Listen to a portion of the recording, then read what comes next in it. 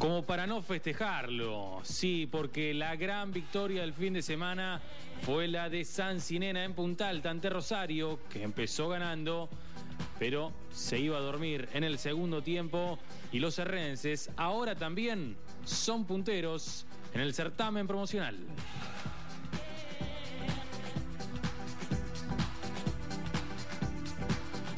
A dos que les faltó madurar fueron los pacíficos. El de Cabildo festejó más porque también se sumó al liderazgo de la tabla de posiciones y ahora son tres los que están arriba del todo.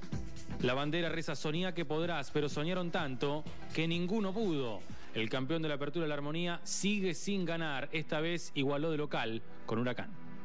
En el oficial todo parece color aurivioleta, que sigue sacando diferencias. Le ganó sin problemas a Olimpo en el puerto y sacó cuatro puntos de diferencia sobre el más cercano perseguidor.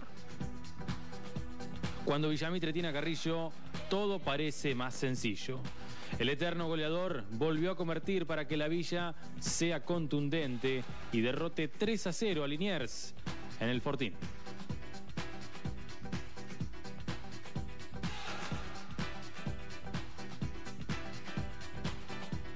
Un clásico donde no hubo diferencias y sí prevalecieron los errores fue en Villarrosas, donde Libertad y Comercial igualaron uno a uno. Sporting y Bellavista en Punta Alta no quedaron conformes. Un empate con sabor a poco. El rojinegro quedó último Bellavista a mitad de tabla.